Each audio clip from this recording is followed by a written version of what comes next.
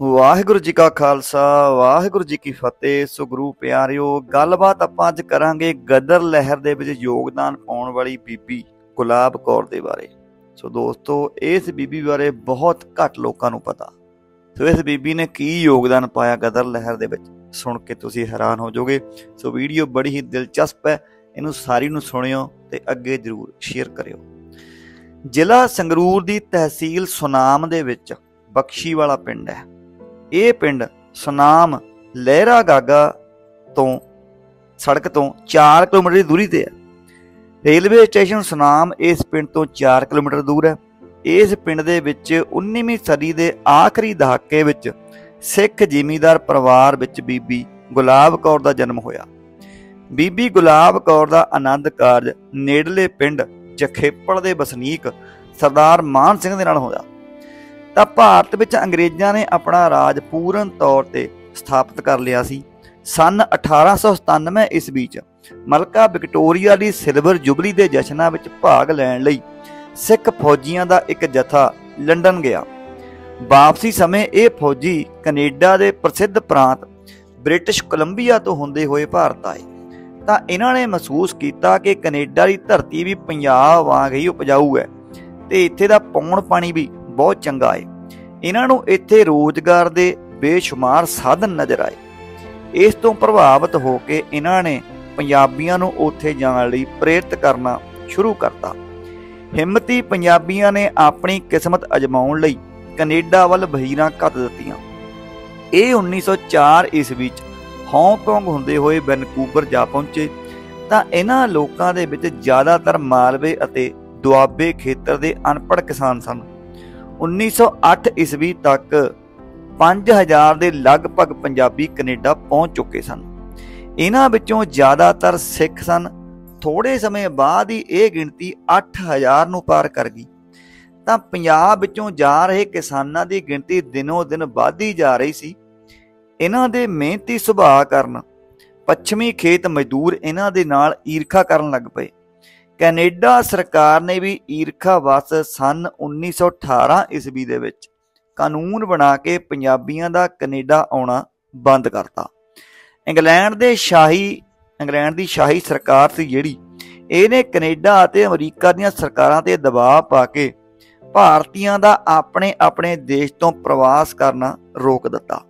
ਇਸ ਲਈ ਇਹਨਾਂ ਦੇਸ਼ਾਂ ਵਿੱਚ ਆਉਣ ਲਈ ਉਹਨਾਂ ਨੇ ਪੈਸੀਫਿਕ ਕੋਸਟ ਦੇ ਏਸ਼ੀਅਨ ਹਿੱਸੇ ਤੇ ਆਉਣਾ ਸ਼ੁਰੂ ਕਰਤਾ।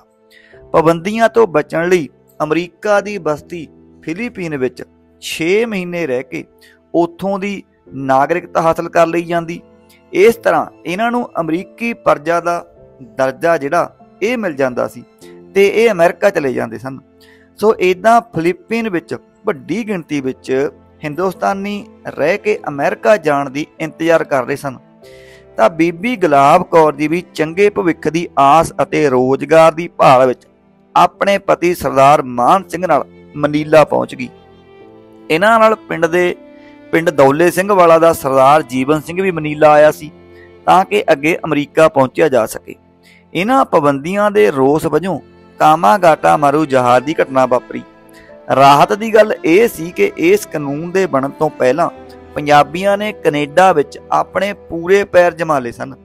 ਕਈਆਂ ਨੇ ਆਪਣੇ ਮਕਾਨ ਬਣਾ ਲਏ ਸਨ, ਕਈਆਂ ਨੇ ਜਾਇਦਾਦਾਂ ਬਣਾ ਲਈਆਂ ਸਨ, ਸਿੱਖਾਂ ਨੇ ਕੁਝ ਗੁਰਦੁਆਰਾ ਸਾਹਿਬ ਵੀ ਸਥਾਪਿਤ ਕਰ ਲਏ ਸਨ। ਤਾਂ ਇਹਨਾਂ ਪੰਜਾਬੀਆਂ ਨੇ ਕਾਮਾਗਾਟਾ ਮਾਰੂ ਜਹਾਜ਼ ਦੇ ਯਾਤਰੀਆਂ ਦੀ ਮਦਦ ਵੀ ਕੀਤੀ।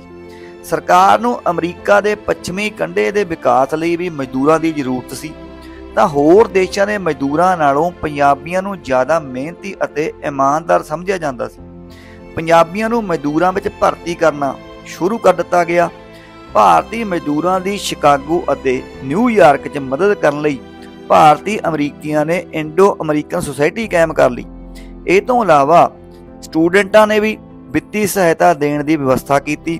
ਤਾਂ ਇਸ ਉਦਮ ਨਾਲ ਲਾਲਾ ਹਰਦਿਆਲ, ਸੰਤ ਤੇਜਾ ਸਿੰਘ, ਭਾਈ ਪਰਮਾਨੰਦ ਤੋਂ ਇਲਾਵਾ ਭਾਈ ਜਵਾਲਾ ਸਿੰਘ, ਭਾਈ ਸੰਤੋਖ ਸਿੰਘ ਤੇ ਭਾਈ ਬਸਾਖਾ ਸਿੰਘ ਨੇ ਸਹਿਯੋਗ ਦਿੱਤਾ।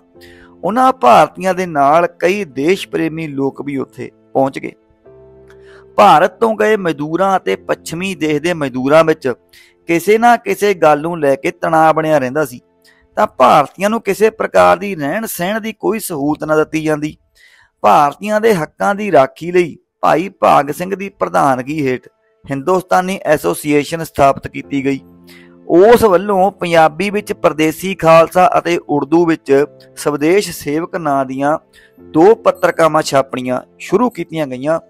ਤਾਂ ਇਹਨਾਂ ਪੱਤਰਕਾਵਾਂ ਵਿੱਚ ਛਪੀਆਂ ਖਬਰਾਂ ਅਤੇ ਲੇਖਾਂ ਨੇ ਹਿੰਦੁਸਤਾਨੀਆਂ ਨੂੰ ਆਪਣੇ ਹੱਕਾਂ ਪ੍ਰਤੀ ਜਾਗਰੂਕ ਕਰਨ ਦੀ ਭੂਮਿਕਾ ਨਿਭਾਉਣੀ ਸ਼ੁਰੂ ਕੀਤੀ। ਇਸੇ ਦੇ ਸਦਕਾ 15 ਦਸੰਬਰ 1911 ਈਸਵੀ ਨੂੰ ਯੂਨਾਈਟਿਡ ਇੰਡੀਅਨ ਲੀਗ ਕਾਇਮ ਹੋਈ। ਤਾਂ ਸਨ 1912 ਈਸਵੀ ਦੇ ਵਿੱਚ ਪੋਰਟਲੈਂਡ ਵਿੱਚ Hindustani Association of Pacific Coast ਇਹ ਸਥਾਪਿਤ ਕੀਤੀ ਗਈ। ਤਾਂ ਬਾਬਾ ਸੋਹਣ ਸਿੰਘ ਭਕਨਾ ਨੂੰ ਇਸ ਐਸੋਸੀਏਸ਼ਨ ਦਾ ਪ੍ਰਧਾਨ ਨਿਯੁਕਤ ਕੀਤਾ ਗਿਆ। ਮਈ 1913 ਈਸਵੀ ਨੂੰ ਇੱਕ ਵੱਡਾ ਸਮਾਗਮ ਕੀਤਾ ਗਿਆ। ਇਸ ਸਮਾਗਮ ਦੌਰਾਨ ਗਦਰ ਆਸ਼ਰਮ ਖੋਲਣ ਦਾ ਫੈਸਲਾ ਕੀਤਾ ਗਿਆ ਅਤੇ ਗਦਰ ਪਾਰਟੀ ਬਣਾਉਣ ਦਾ ਵੀ ਫੈਸਲਾ ਕੀਤਾ ਗਿਆ। ਗਦਰ ਪਾਰਟੀ ਦਾ ਮੁੱਖ ਦਫ਼ਤਰ ਸਨ ਫਰਾਂਸਿਸਕੋ ਵਿੱਚ, ਸ਼ਾਖਾਵਾਂ ਅਮਰੀਕਾ ਅਤੇ ਕੈਨੇਡਾ ਵਿੱਚ ਖੋਲਣ ਦਾ ਫੈਸਲਾ ਹੋਇਆ। ਇਸ ਪਾਰਟੀ ਦਾ ਮੁੱਖ ਕੰਮ ਭਾਰਤ ਵਿੱਚ ਸ਼ਸਤਰ ਕ੍ਰਾਂਤੀ ਰਾਹੀਂ ਅੰਗਰੇਜ਼ ਰਾਜ ਨੂੰ ਖਤਮ ਕਰਕੇ ਆਜ਼ਾਦੀ ਲੈ ਕੇ ਆਉਣਾ ਸੀ। ਭਾਰਤੀਆਂ ਅੰਦਰ ਜਾਗਰਤੀ ਪੈਦਾ ਕਰਨ ਲਈ ਗਦਰ ਨਾਂ ਦੇ ਸਪਤਾਹਿਕ ਪੱਤਰਕਾ ਛਾਪਣ ਦਾ ਵੀ ਫੈਸਲਾ ਹੋਇਆ। ਨਵੰਬਰ 1913 ਈਸਵੀ ਦੇ ਵਿੱਚ ਗਦਰ ਉਰਦੂ ਭਾਸ਼ਾ ਵਿੱਚ ਪ੍ਰਕਾਸ਼ਿਤ ਹੋਣਾ ਸ਼ੁਰੂ ਹੋ ਗਿਆ। ਔਰ ਕੁਝ ਹਫ਼ਤਿਆਂ ਬਾਅਦ ਪੰਜਾਬੀ ਵਿੱਚ ਵੀ ਇਹ ਛਪਣਾ ਸ਼ੁਰੂ ਹੋ ਗਿਆ। ਤਾਂ ਇਹਨਾਂ ਪੱਤਰਕਾਵਾਂ ਨੂੰ ਅਮਰੀਕਾ, ਕੈਨੇਡਾ ਤੋਂ ਇਲਾਵਾ ਪੂਰਬੀ ਏਸ਼ੀਆ ਦੇ ਦੇਸ਼ਾਂ ਵਿੱਚ ਵੀ ਵੰਡਿਆ ਜਾਣ ਲੱਗਾ। ਬਾਅਦ 'ਚ ਇਹ ਹਿੰਦੀ, ਗੁਜਰਾਤੀ, ਪਸ਼ਤੋ, ਬੰਗਾਲੀ ਅਤੇ ਨੇਪਾਲੀ ਭਾਸ਼ਾਵਾਂ 'ਚ ਵੀ ਛਪਣ ਲੱਗਾ। ਤਾਂ ਭਾਰਤੀ ਸੈਨਿਕਾਂ ਨੂੰ ਉਤਸ਼ਾਹਿਤ ਕਰਨ ਲਈ ਹਿੰਦੁਸਤਾਨੀ ਸਿਪਾਹੀ ਨਾਂ ਦੀ ਪੱਤਰਕਾ ਵੀ ਛਾਪੀ ਜਾਣ ਲੱਗੀ। ਲਾਲਾ ਹਰਦਿਆਲ ਦੇ ਸਵਿਟਜ਼ਰਲੈਂਡ ਚਲੇ ਜਾਣ ਤੋਂ ਬਾਅਦ ਬਾਬਾ ਸੋਹਣ ਸਿੰਘ ਭਕਨਾ ਨੇ ਪਾਰਟੀ ਦੇ ਦਫ਼ਤਰ 'ਚ ਰਹਿਣਾ ਸ਼ੁਰੂ ਕਰਤਾ। ਤਾਂ ਭਾਈ ਸੰਤੋਖ ਸਿੰਘ ਨੂੰ ਜਨਰਲ ਸਕੱਤਰ ਬਣਾਇਆ ਗਿਆ। ਪੱਤਰਕਾਰੇ ਸੰਪਾਦਨ ਅਤੇ ਪ੍ਰਕਾਸ਼ਨ ਦਾ ਕੰਮ ਕੋਟਲਾ ਨੌਦ ਸਿੰਘ ਦੇ ਭਾਈ ਹਰਨਾਮ ਸਿੰਘ ਨੂੰ ਸੌਂਪਿਆ ਗਿਆ। ਪਾਰਟੀ ਨੇ ਆਪਣੇ ਮੈਂਬਰਾਂ ਨੂੰ ਹਥਿਆਰ ਚਲਾਉਣ ਦੀ ਸਿਖਲਾਈ ਦੇਣੀ ਸ਼ੁਰੂ ਕੀਤੀ। ਇਸੇ ਸਿਖਲਾਈ ਦੌਰਾਨ ਇੱਕ ਵਾਰ ਬੰਬ ਫਟਣ ਨਾਲ ਭਾਈ ਹਰਨਾਮ ਸਿੰਘ ਦੀ ਬਾਹ ਉੱਡ ਗਈ। ਇਸ ਕਰਕੇ ਉਹਦਾ ਨਾਂ ਟੁੰਡੀ ਲਾਟ ਪ੍ਰਸਿੱਧ ਹੋ ਗਿਆ। ਪੂਰਬੀ ਏਸ਼ੀਆਈ ਦੇਸ਼ਾਂ ਵਿੱਚ ਵੀ ਗਦਰ ਪਾਰਟੀ ਨੇ ਖੂਬ ਪ੍ਰਚਾਰ ਕੀਤਾ। ਗੁਰਦੁਆਰੇ ਪਾਰਟੀ ਦੇ ਪ੍ਰਚਾਰ ਦੇ ਮੁੱਖ ਕੇਂਦਰ ਬਣ ਗਏ। ਸਨ 1914 ਈਸਵੀ 'ਚ ਪਹਿਲਾ ਵਿਸ਼ਵ ਯੁੱਧ ਛਿੜ ਜਾਣ ਕਾਰਨ ਗਦਰ ਪਾਰਟੀ ਦੇ ਯੁਗੰਤਰ ਆਸ਼ਰਮ 'ਚ ਮੀਟਿੰਗ ਹੋਈ ਤੇ ਮੌਕੇ ਦੀ ਨਜਾਕਤ ਦਾ ਫਾਇਦਾ ਚੱਕ ਕੇ ਹਿੰਦੁਸਤਾਨ 'ਚ ਅੰਗਰੇਜ਼ ਸਰਕਾਰ ਵਿਰੁੱਧ ਗਦਰ ਮਚਾਉਣ ਦਾ ਫੈਸਲਾ ਲਿਆ ਗਿਆ। 22 ਅਗਸਤ 1914 ਈਸਵੀ ਨੂੰ ਬਾਬਾ ਸੋਹਣ ਸਿੰਘ ਭਕਨਾ ਆਪਣੇ 24 ਹੋਰ ਸਾਥੀਆਂ ਦੇ ਨਾਲ ਬਨਕੂਬਰ ਤੋਂ ਹਿੰਦੁਸਤਾਨ ਨੂੰ ਚੱਲ ਪਿਆ। ਉਹਦੇ ਪਿੱਛੇ ਹੋਰ ਵੀ ਕਈ ਗਦਰੀ ਹਿੰਦੁਸਤਾਨ ਵੱਲ ਚੱਲ ਪਏ। ਸਨ ਫਰਾਂਸਿਸਕੋ ਅਮਰੀਕਾ ਤੋਂ ਸਾਊਥ ਕੋਰੀਆ ਨਾਂ ਦੇ ਸਮੁੰਦਰੀ ਜਹਾਜ਼ ਰਾਹੀਂ ਗਦਰੀ ਆਗੂ ਮਨੀਲਾ ਆਏ। ਤਾਂ ਮਨੀਲਾ ਦੀ ਗਦਰ ਪਾਰਟੀ ਨੇ ਉਹਨਾਂ ਦਾ ਨਿੱਘਾ ਸਵਾਗਤ ਕੀਤਾ ਤੇ ਗੁਰਦੁਆਰਾ ਸਾਹਿਬ ਦੇ ਵਿੱਚ ਇਕੱਤਰਤਾ ਦਾ ਪ੍ਰਬੰਧ ਕੀਤਾ। ਸਥਾਨਕ ਲੋਕਾਂ ਨੂੰ ਗਦਰ ਪਾਰਟੀ ਵੱਲੋਂ ਹਿੰਦੁਸਤਾਨੀਆਂ ਨੂੰ ਬਗਾਵਤ ਦੀ ਅਪੀਲ ਦਾ ਪਹਿਲਾਂ ਹੀ ਪਤਾ ਸੀ। ਇਸ ਸੰਬੰਧੀ ਗਦਰ ਅਖਬਾਰ 'ਚ ਪਹਿਲਾਂ ਹੀ ਛਪ ਚੁੱਕਾ ਸੀ। ਮਨੀਲਾ ਵਿੱਚ ਬੀਬੀ ਗੁਲਾਬ ਕੌਰ ਨੇ ਗਦਰੀਆਂ ਦੀ ਬਹੁਤ ਮਦਦ ਕੀਤੀ। ਮਨੀਲਾ ਦੇ ਗੁਰਦੁਆਰਾ ਸਾਹਿਬ ਵਿੱਚ ਕੀਤੀਆਂ ਅਪੀਲਾਂ ਅਤੇ ਤਕਰੀਰਾਂ ਦਾ ਸੰਗਤ ਦੇ ਮਨ ਤੇ ਬੜਾ ਗਹਿਰਾ ਅਸਰ ਹੋਇਆ। ਮਨੀਲਾ ਵਿੱਚੋਂ ਇੱਕ ਵੱਡਾ ਜਥਾ ਭਾਰਤ ਆਉਣ ਲਈ ਤਿਆਰ ਹੋ ਗਿਆ, ਜਿਹਦੇ ਵਿੱਚ ਬੀਬੀ ਗੁਲਾਬ ਕੌਰ ਅਤੇ ਉਹਨਾਂ ਦਾ ਪਤੀ ਸਰਦਾਰ ਮਾਨ ਸਿੰਘ ਵੀ ਸ਼ਾਮਲ ਸੀ। ਪਰ ਜਦੋਂ ਜਥਾ ਮਨੀਲਾ ਤੋਂ ਭਾਰਤ ਲਈ ਰਵਾਨਾ ਹੋਣ ਲੱਗਾ, ਤਾਂ ਸਰਦਾਰ ਮਾਨ ਸਿੰਘ ਦਿਲ ਛੱਡ ਗਿਆ ਤੇ ਉਹਨੇ ਭਾਰਤ ਜਾਣ ਤੋਂ ਇਨਕਾਰ ਕਰਤਾ। ਇਸ ਘਟਨਾ ਦਾ ਬੀਬੀ ਗੁਲਾਬ ਕੌਰ ਤੇ ਬੜਾ ਅਸਰ ਹੋਇਆ। ਤੇ ਉਹਨੇ ਘਰ 'ਤੇ ਆ ਕੇ ਸਦਾ ਲਈ ਗਦਰ ਪਾਰਟੀ ਵਿੱਚ ਕੰਮ ਕਰਨ ਦੀ ਠਾਣ ਲਈ। ਇਹ ਜਥਾ ਮਨੀਲਾ ਤੋਂ ਜਾਪਾਨ ਹੁੰਦਾ ਹੋਇਆ ਹਾਂਗਕਾਂਗ ਪਹੁੰਚਿਆ। ਸਤੰਬਰ 1914 ਈਸਵੀ ਵਿੱਚ ਹਾਂਗਕਾਂਗ ਦੇ ਸਿੱਖਾਂ ਨੇ ਗੁਰਦੁਆਰਾ ਸਾਹਿਬ 'ਚ ਭਾਰੀ ਇਕੱਠ ਕੀਤਾ। ਤਾਂ ਇਸ ਇਕੱਤਰਤਾ ਦੇ ਵਿੱਚ ਸਨ ਫਰਾਂਸਿਸਕੋ ਤੋਂ ਆਏ ਗਦਰ ਪਾਰਟੀ ਦੇ ਲੀਡਰਾਂ ਭਾਈ ਕੇਸਰ ਸਿੰਘ ਠਠਗੜ, ਭਾਈ ਜਵਾਲਾ ਸਿੰਘ ਠਠੀਆਂ, ਭਾਈ ਸ਼ੇਰ ਸਿੰਘ ਬੇਈਪੂਈ, ਭਾਈ ਜੀਵਨ ਸਿੰਘ ਦੌਲੇ ਸਿੰਘ ਵਾਲਾ ਹਾਫਿਜ਼ ਅਬਦੁੱਲਾ ਜਗਰਾਉਂ, ਰਹਿਮਤ ਅਲੀ ਬਜੀਤ ਕੇ, ਭਾਈ ਬਖਸ਼ੀਸ਼ ਸਿੰਘ ਖਾਨਪੁਰ ਭਾਈ ਲਾਲ ਸਿੰਘ ਸਾਹਿਬਾਨਾ, ਭਾਈ ਜਗਤ ਸਿੰਘ ਥਿੰਜਣ, ਭਾਈ ਧਿਆਨ ਸਿੰਘ ਉਮਰਪੁਰ ਭਾਈ ਧਿਆਨ ਸਿੰਘ ਬੰਗਸੀਪੁਰਾ। ਤੇ ਇਹ ਸਾਰੇ ਕਹਿ ਲਈਏ ਵੀ ਆਪਣੇ ਇਕੱਠੇ ਹੋਏ। ਤਾਂ ਹੋਰ ਬਹੁਤ ਸਾਰੇ ਸਥਾਨਕ ਆਗੂਆਂ ਨੇ ਵੀ ਇਹਦੇ ਚ ਭਾਗ ਲਿਆ ਸੀ। ਤਾਂ ਇਸ ਇਕੱਠ 'ਚ ਭਾਰਤੀਆਂ ਨੂੰ ਅਪੀਲ ਕੀਤੀ ਗਈ ਕਿ ਉਹ ਦੇਸ਼ ਦੀ ਆਜ਼ਾਦੀ ਲਈ ਗਦਰ ਪਾਰਟੀ ਦਾ ਵੱਧ ਚੜ ਕੇ ਸਹਿਯੋਗ ਕਰਨ। ਜੋ ਭਾਰਤ ਦੀ ਆਜ਼ਾਦੀ ਲਈ ਅੰਗਰੇਜ਼ ਸਰਕਾਰ ਦੇ ਨਾਲ ਜੰਗ ਕਰਨ ਜਾ ਰਹੀ ਹੈ। ਇਸ ਇਕੱਤਰਤਾ ਵਿੱਚ ਬੀਬੀ ਗੁਲਾਬ ਕੌਰ ਜੀ ਵੀ ਮਨੀਲਾ ਤੋਂ ਹਾਂਗਕਾਂਗ ਭਾਗ ਲੈਣ ਲਈ ਆਏ। ਉਹਨਾਂ ਨੇ ਇਕੱਤਰਤਾ ਦੇ ਵਿੱਚ ਜੋਸ਼ੀਲੀ ਕਵਿਤਾ ਪੜ੍ਹ ਕੇ ਸਾਰਿਆਂ ਦਾ ਲਹੂ ਗਰਮ ਕਰਤਾ। ਉਹ ਕਵਿਤਾ ਸੀਗੀ, ਉਹ ਲਿਖਦੇ ਨੇ ਬੀਬੀ ਜੀ ਕਿ ਹਿੰਦੁਸਤਾਨੀਓ ਹੋਸ਼ ਕਰੋ ਕਾਇਮ, ਹਿੰਮਤ ਕਰੋ, ਸ਼ਰਮਾਉਣ ਦੀ ਲੋੜ ਕੀ ਕੀਏ ਚਲੋ ਮੁਲਕ ਅੰਦਰ ਚੱਲ ਗਦਰ ਕਰੀਏ, ਹੁਣ ਗੁਲਾਮ ਕਹਾਉਣ ਦੀ ਲੋੜ ਕੀਏ? ਉਠੋ ਨਾਲ ਕਿਰਪਾਨ ਦੇ ਹੱਕ ਲਈਏ, ਬੁਰੇ ਹਾਲ ਕਰਾਉਣ ਦੀ ਲੋੜ ਕੀਏ? ਜੋ ਕੁਝ ਪਾਸ ਹੈ ਮੁਲਕ ਤੋਂ ਬਾਹਰ ਦੇਵੋ, ਪਿੱਛੇ ਰੱਖ ਰਖਾਉਣ ਦੀ ਲੋੜ ਕੀਏ? ਗਦਰ ਸ਼ੁਰੂ ਹੈ ਵੀਰ ਨੂੰ, ਚਲੋ ਜਲਦੀ ਬੈਠ ਤੱਕਣ ਤਕਾਉਣ ਦੀ ਲੋੜ ਕੀਏ? ਤੁਰੋ, ਕਰੋ ਹਿੰਮਤ, ਜਲਦੀ ਗਦਰ ਕਰੀਏ, ਬਾਰ-ਬਾਰ ਦੁਹਰਾਉਣ ਦੀ ਲੋੜ ਕੀਏ। ਤਾਂ ਕਵਿਤਾ ਤੋਂ ਬਾਅਦ ਬੀਬੀ ਗੁਲਾਬ ਕੌਰ ਜੀ ਨੇ ਆਪਣੀ ਬਾਹ ਤੋਂ ਬੰਗਾ ਲਾ ਲਈਆਂ ਤੇ ਹਵਾ 'ਚ ਲਹਿਰਾ ਕੇ ਕਿਹਾ। ਉਹ ਕਹਿੰਦੇ, ਜੇਕਰ ਇਕੱਠ ਵਿੱਚ ਸ਼ਾਮਲ ਕੋਈ ਮਨੁੱਖ ਦੇਸ਼ ਨੂੰ ਆਜ਼ਾਦ ਕਰਾਉਣ ਤੋਂ ਪਿੱਛੇ ਹਟਣਾ ਚਾਹੁੰਦਾ, ਤਾਂ ਉਹ ਚੂੜੀਆਂ ਪਹਿਨ ਸਕਦਾ ਹੈ। ਜੇਕਰ ਮਰਦਾਂ ਵਿੱਚ ਹਿੰਮਤ ਨਹੀਂ, ਤਾਂ ਅਸੀਂ ਇਸਤਰੀਆਂ ਤਿਆਰ ਹਾਂ। ਅਸੀਂ ਯੁੱਧ ਦੇ ਮੈਦਾਨ 'ਚ ਜਾਵਾਂਗੀਆਂ। ਇਹੋ ਜਿਹੇ ਮਰਦ ਸਾਡੇ ਘਰ ਅਤੇ ਚੁੱਲ੍ਹਾ ਚੌਂਕਾ ਸਾਂਭ ਲੈਣ। ਤਾਂ ਬੀਬੀ ਗੁਲਾਬ ਕੌਰ ਜੀ ਦੇ ਇਸ ਭਾਸ਼ਣ ਦਾ ਸਾਰ ਨੈਸ਼ਨਲ ਆਰਕਾਈਵਜ਼ ਆਫ ਇੰਡੀਆ ਨਵੀਂ ਦਿੱਲੀ ਨੇ ਆਪਣੇ ਰਿਕਾਰਡ ਵਿੱਚ ਵੀ ਸਾਂਭਿਆ ਹੋਇਆ। ਤਾਂ 15 ਫਰਵਰੀ 1915 ਈਸਵੀ ਤੱਕ ਵੱਖ-ਵੱਖ ਦੇਸ਼ਾਂ ਤੋਂ 2312 ਗਦਰੀ ਸੈਨਿਕ ਤੋਸ਼ਾ ਮਾਰੂ ਜਹਾਜ਼ ਵਿੱਚ ਸਵਾਰ ਹੋ ਕੇ ਹਿੰਦੁਸਤਾਨ ਪਹੁੰਚ ਗਏ। ਇਹਨਾਂ ਦੇ ਵਿੱਚ ਬੀਬੀ ਗੁਲਾਬ ਕੌਰ ਵੀ ਇਸ ਜਥੇ ਨਾਲ ਕਲਕੱਤੇ ਪਹੁੰਚ ਗਏ। ਰਸਤੇ ਵਿਚਲੀਆਂ ਬੰਦਰਗਾਹਾਂ, ਸਿੰਘਾਂ ਪਰ ਪਿਨਾਂਗ ਅਤੇ ਰੰਗੂਨ 'ਚ ਹਿੰਦੁਸਤਾਨੀਆਂ ਨੂੰ ਗਦਰ ਪਾਰਟੀ 'ਚ ਸ਼ਾਮਲ ਹੋਣ ਲਈ ਬੀਬੀ ਗੁਲਾਬ ਕੌਰ ਜੀ ਪ੍ਰੇਰਦੇ ਰਹੇ। ਨਾਲ ਹੀ ਉਹ ਜਹਾਜ਼ 'ਚ ਸਫ਼ਰ ਕਰ ਰਹੇ ਸਾਥੀਆਂ ਨੂੰ ਚੜ੍ਹਦੀ ਕਲਾ ਵਿੱਚ ਰਹਿਣ ਦੀ ਪ੍ਰੇਰਣਾ ਵੀ ਕਰਦੇ ਰਹੇ। ਇਹਨਾਂ ਨਾਲ ਸਨਾਮ ਦੇ ਨੇੜਲੇ ਪਿੰਡ ਦੌਲੇ ਸਿੰਘ ਵਾਲੇ ਦਾ ਜੀਵਨ ਸਿੰਘ ਵੀ ਹਿੰਦੁਸਤਾਨ ਪਹੁੰਚਿਆ। ਜਦੋਂ ਇਹ ਕਲਕੱਤੇ ਪਹੁੰਚੇ ਤਾਂ ਪੁਲਿਸ ਅਧਿਕਾਰੀਆਂ ਨੇ ਇਹਨਾਂ ਦੇ ਪਰਿਵਾਰਕ ਪਿਛੋਕੜ ਬਾਰੇ ਪੁੱਛਗਿੱਛ ਕੀਤੀ ਤਾਂ ਬੀਬੀ ਗੁਲਾਬ ਕੌਰ ਨੇ ਆਪਣੇ ਮਾਪਿਆਂ ਤੇ ਸਹੁਰੇ ਪਰਿਵਾਰ ਦੀ ਪੁੱਛਗਿੱਛ ਤੇ ਡਰੋਂ ਆਪਣੀ ਪਹਿਚਾਣ ਸਰਦਾਰ ਜੀਵਨ ਸਿੰਘ ਦੀ ਪਤਨੀ ਵਜੋਂ ਦੱਸਤੀ। ਸਮੁੰਦਰੀ ਜਹਾਜ਼ ਤੋਸ਼ਾ ਮਾਰੂ ਦੇ ਸਾਰੇ ਮੁਸਾਫਰਾਂ ਨੂੰ ਕਲਕੱਤੇ ਵਿੱਚ ਕੈਦ ਕਰਕੇ ਲਾਹੌਰ ਦੇ ਨੇੜੇ ਇੱਕ ਰੇਲਵੇ ਜੰਕਸ਼ਨ ਤੋਂ ਜੰਕਸ਼ਨ ਤੇ ਲਿਆਂਦਾ ਗਿਆ। ਇਹਨਾਂ ਚੋਂ 100 ਮੁਸਾਫਰਾਂ ਨੂੰ ਮਲਤਾਨ ਦੀ ਜੇਲ੍ਹ ਭੇਜਿਆ ਗਿਆ।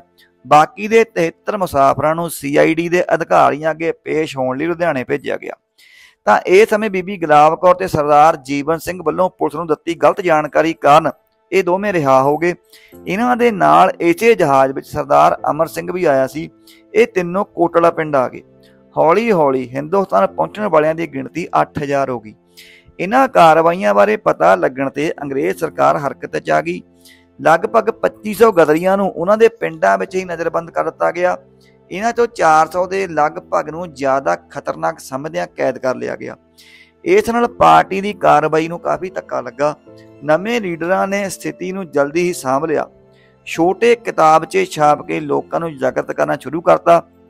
ਬੀਬੀ ਗੁਲਾਬ ਕੌਰ, ਸਰਦਾਰ ਜੀਵਨ ਸਿੰਘ ਤੇ ਸਰਦਾਰ ਅਮਰ ਸਿੰਘ ਨੇ ਆਪਣਾ ਸੰਪਰਕ ਬਾਬਾ ਹਰਨਾਮ ਸਿੰਘ ਟੁੰਡੀ ਲਾੜ ਨਾਲ ਕਾਇਮ ਕੀਤਾ, ਜਿਨ੍ਹਾਂ ਨੇ ਇਹਨਾਂ ਤਿੰਨਾਂ ਨੂੰ ਗਦਰ ਲਹਿਰ ਦੀਆਂ ਵਿਸ਼ੇਸ਼ ਸੇਵਾਵਾਂ ਤੇ ਲਾਤਾ ਜੀਵਨ ਸਿੰਘ ਅਤੇ ਮਨੀਲਾ ਤੋਂ ਆਏ ਹੋਰ ਕ੍ਰਾਂਤੀਕਾਰੀਆਂ ਨੂੰ ਸਰਦਾਰ ਕਰਤਾਰ ਸਿੰਘ ਸਰਾਭੇ ਦੀ ਅਗਵਾਈ ਵਾਲੇ ਫੌਜੀ ਦਸਤੇ ਵਿੱਚ ਸ਼ਾਮਲ ਕਰ ਦਿੱਤਾ ਗਿਆ। ਇਹਨਾਂ ਦਾ ਕਾਰਜ ਖੇਤਰ ਸਤਲੁਜ ਤੋਂ ਪਾਰ ਦਾ ਇਲਾਕਾ ਸੀ। ਬੀਬੀ ਗੁਲਾਬ ਕੌਰ ਦਾ ਕੰਮ ਹੁਸ਼ਿਆਰਪੁਰ ਜ਼ਿਲ੍ਹੇ ਦੇ ਪਿੰਡ ਹਰਿਆਣਾ ਦੇ ਖੇਤਰ ਦੀਆਂ ਇਸਤਰੀਆਂ ਵਿੱਚ ਪ੍ਰਚਾਰ ਕਰਨ ਦਾ ਸੀ। ਜਦੋਂ ਪਾਰਟੀ ਨੇ ਬਕਾਇਦਾ ਸੰਸਥਾ ਦਾ ਰੂਪ ਧਾਰਨ ਕੀਤਾ, ਤਾਂ ਬੀਬੀ ਗੁਲਾਬ ਕੌਰ ਜੀ ਨੂੰ ਪਾਰਟੀ ਦੇ ਮੁੱਖ ਦਫ਼ਤਰ ਸ਼੍ਰੀ ਅੰਮ੍ਰਿਤਸਰ ਵਿਖੇ ਬੁਲਾ ਲਿਆ ਗਿਆ। ਕ੍ਰਾਂਤੀ ਲਈ ਤਿਆਰੀਆਂ ਸ਼ੁਰੂ ਹੋ ਗਈਆਂ। ਪਾਰਟੀ ਦਾ ਦਫ਼ਤਰ ਸ਼੍ਰੀ ਅੰਮ੍ਰਿਤਸਰ ਤੋਂ ਬਦਲ ਕੇ ਲਾਹੌਰ ਬਣਾਇਆ ਗਿਆ। ਬੀਬੀ ਗੁਲਾਬ ਕੌਰ ਜੀ ਨੂੰ ਲਾਹੌਰ ਭੇਜ ਦਿੱਤਾ ਗਿਆ। ਇਹ ਲਾਹੌਰ ਦੇ ਰੇਲਵੇ ਸਟੇਸ਼ਨ ਦੇ ਪਾਸ ਮੂਲ ਚੰਦ ਦੀ ਸਰਾਂ ਅਤੇ ਬੰਸੀ ਲਾਲਾ ਦੇ ਮੰਦਿਰ 'ਚ ਕਮਰਾ ਲੈ ਲੈ ਦਿੱਤਾ ਗਿਆ ਇਹਨਾਂ ਨੂੰ। ਤਾਂ ਆਪ ਪਾਰਟੀ ਦੀ ਰਿਸੈਪਸ਼ਨਿਸਟ ਵਜੋਂ ਕੰਮ ਕਰਨ ਲੱਗੇ।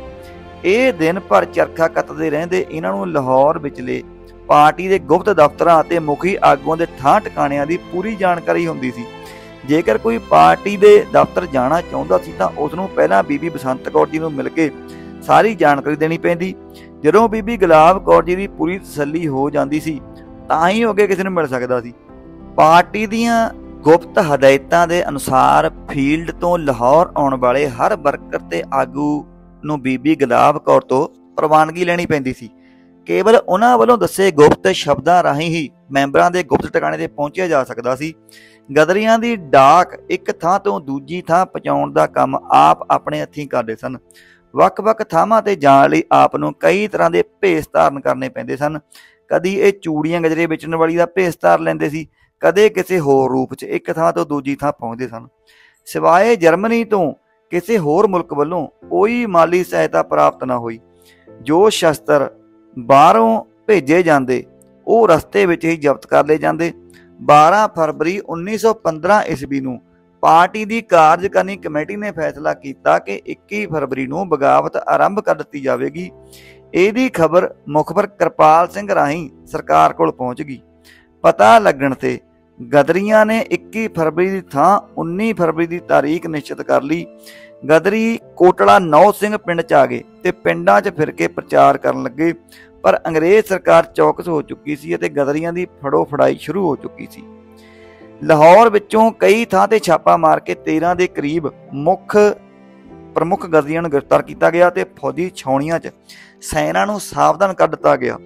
ਬੀਬੀ ਗੁਲਾਬ ਕੌਰ ਨੂੰ ਫੜ ਕੇ ਜੇਲ੍ਹ 'ਚ ਬੰਦ ਕੀਤਾ ਗਿਆ। ਗਦਰੀਆਂ ਵੱਲੋਂ ਮਿਥਿਆ ਗਦਰ ਮਿਸ਼ਨ ਫੇਲ ਹੋ ਗਿਆ। ਲਾਹੌਰ ਵਿੱਚੋਂ ਨਿਕਲ ਕੇ ਆਪ ਸਰਦਾਰ ਅਮਰ ਸਿੰਘ ਦੇ ਪਿੰਡ ਹੁਸ਼ਿਆਰਪੁਰ ਚਲੇ ਗਏ। ਪੁਲਿਸ ਨੂੰ ਸੂਚਨਾ ਮਿਲਣ ਤੇ ਇਹਨਾਂ ਨੂੰ ਛਾਪਾ ਮਾਰ ਕੇ ਗ੍ਰਿਫਤਾਰ ਕਰ ਲਿਆ ਗਿਆ। ਇਹਨਾਂ ਨੂੰ ਸ਼ਰਨ ਦੇਣ ਕਾਰਨ ਸਰਦਾਰ ਅਮਰ ਸਿੰਘ ਨੂੰ 2 ਸਾਲ ਦੀ ਸਖਤ ਕੈਦੀ ਸਜ਼ਾ ਹੋਈ ਸੀ। ਤਾਂ ਬੀਬੀ ਗੁਲਾਬ ਕੌਰ ਦੇ ਸਿਆਸੀ ਕਾਰਨਾਂ ਕਰਕੇ ਅੰਗਰੇਜ਼ ਸਰਕਾਰ ਨੇ ਕਚਹਿਰੀ ਵਿੱਚ ਕੋਈ ਮੁਕੱਦਮਾ ਨਾ ਚਲਾਇਆ।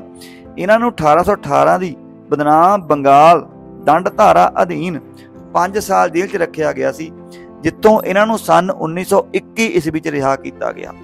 ਰਿਹਾ ਹੋਣ ਤੋਂ ਬਾਅਦ ਇਹ ਸਰਦਾਰ ਅਮਰ ਸਿੰਘ ਦੇ ਪਿੰਡ ਕੋਟਲਾ ਨੌਰ ਸਿੰਘ ਵਿਖੇ ਆ ਗਏ। ਇਸ ਪਿੰਡ 'ਚ ਹੀ ਪੁਲਿਸ ਇਹਨਾਂ 'ਤੇ ਸਖਤ ਨਿਗਰਾਨੀ ਰੱਖਦੀ ਸੀ। ਇੱਥੇ ਹੀ ਵੀ, ਇੱਥੇ ਹੀ ਇਹਨਾਂ ਦੀ ਫਿਰ ਮੌਤ ਹੋਈ। ਪੁਲਿਸ ਦਾ ਵਿਚਾਰ ਸੀ ਕਿ ਜੇਕਰ ਇਹ ਮਰਦ ਹੁੰਦੀ ਤਾਂ ਇਹਨੂੰ ਵੀ ਬਾਕੀ ਦੇ ਗਦਰੀਆਂ ਵਾਂਗ ਫਾਂਸੀ ਤੋਂ ਕੋਈ ਨਹੀਂ ਸੀ ਬਚਾ ਸਕਦਾ। ਫੜੇ ਗਏ ਸਾਰੇ ਗਦਰੀਆਂ ਨੂੰ ਲਾਹੌਰ ਦੀ ਸੈਂਟਰਲ ਜੇਲ੍ਹ 'ਚ ਇਕੱਠਾ ਕੀਤਾ ਗਿਆ। ਸਪੈਸ਼ਲ ਅਦਾਲਤ ਲਾ ਕੇ ਲਾਹੌਰ ਸਾਜ਼ਿਸ਼ ਕੇਸਾਂ ਦੀ ਸੁਣਵਾਈ ਸ਼ੁਰੂ ਕੀਤੀ ਗਈ। ਕੁੱਲ 291 ਗਦਰੀਆਂ ਵਿਰੁੱਧ ਕੇਸ ਦਰਜ ਕੀਤੇ ਗਏ। ਇਹਨਾਂ ਵਿੱਚੋਂ 42 ਨੂੰ ਫਾਂਸੀ 114 ਨੂੰ ਉਮਰ ਭਰ ਲਈ ਜਲਾਵਤਨ ਤੇ 93 ਨੂੰ ਹੋਰ ਸਜ਼ਾਵਾਂ ਦਿੱਤੀਆਂ ਗਈਆਂ। 42 ਵਿਅਕਤੀਆਂ ਨੂੰ ਬੇਕਸੂਰ ਸਮਝ ਕੇ ਛੱਡ ਦਿੱਤਾ ਗਿਆ। ਜਿਨ੍ਹਾਂ ਫੌਜੀ ਟੁਕੜੀਆਂ ਨੇ ਬਗਾਵਤ ਕੀਤੀ ਸੀ, ਉਹਨਾਂ ਨੂੰ ਸਖਤ ਸਜ਼ਾਵਾਂ ਦਿੱਤੀਆਂ ਗਈਆਂ। ਇਹਨਾਂ ਚੋਂ 21 ਨੂੰ ਫਾਂਸੀ ਤੇ 65 ਨੂੰ ਉਮਰ ਭਰ ਲਈ ਜਲਾਵਤਨ ਦੀ ਸਜ਼ਾ ਦਿੱਤੀ ਗਈ। ਇਹਨਾਂ ਦੀਆਂ ਜਾਇਦਾਦਾਂ ਸਰਕਾਰ ਵੱਲੋਂ ਜ਼ਬਤ ਕਰ ਲਈਆਂ ਗਈਆਂ। ਸਿੰਗਾਪੁਰ 'ਚ ਸਥਿਤ ਪੰਜ ਲਾਈਟ ਇਨਫੈਂਟਰੀ ਦੇ 700 ਬੰਦਿਆਂ ਨੇ 15 ਫਰਵਰੀ ਨੂੰ ਬਗਾਵਤ ਕੀਤੀ ਸੀ। ਅਤੇ ਕਿਲੇ ਉੱਤੇ ਕਬਜ਼ਾ ਕਰ ਲਿਆ ਸੀ। ਅੰਗਰੇਜ਼ ਸਰਕਾਰ ਵੱਲੋਂ ਉਹਨਾਂ ਦੀ ਕਾਰਵਾਈ ਨੂੰ ਵੀ ਦਬਾ ਦਿੱਤਾ ਗਿਆ। ਕੁੱਲ 126 ਫੌਜੀਆਂ ਦਾ ਕੋਰਟ ਮਾਰਸ਼ਲ ਕੀਤਾ ਗਿਆ, ਜਿਨ੍ਹਾਂ ਚੋਂ 37 ਨੂੰ ਫਾਂਸੀ ਅਤੇ 41 ਨੂੰ ਉਮਰ ਭਰ ਲਈ ਜਲਾਵਤਨ ਕੀਤਾ ਗਿਆ ਤੇ ਹੋਰ ਵੀ ਵੱਖ-ਵੱਖ ਸਜ਼ਾਵਾਂ ਦਿੱਤੀਆਂ ਗਈਆਂ। ਤਾਂ ਦੋਸਤੋ, ਇਹ ਸੀ ਬੀਬੀ ਗੁਲਾਬ ਕੌਰ ਨਾਲ ਜੁੜੀਆਂ ਹੋਈਆਂ ਗੱਲਾਂ। ਸੋ ਮਿਲਦੇ ਹਾਂ ਅਗਲੀ ਜਾਣਕਾਰੀ ਨਾਲ। ਉਹ ਤੱਕ ਦੇਓ ਆ ਗਿਆ ਵਾਹਿਗੁਰੂ ਜੀ ਕਾ ਖਾਲਸਾ, ਵਾਹਿਗੁਰੂ ਜੀ ਕੀ ਫਤਿਹ।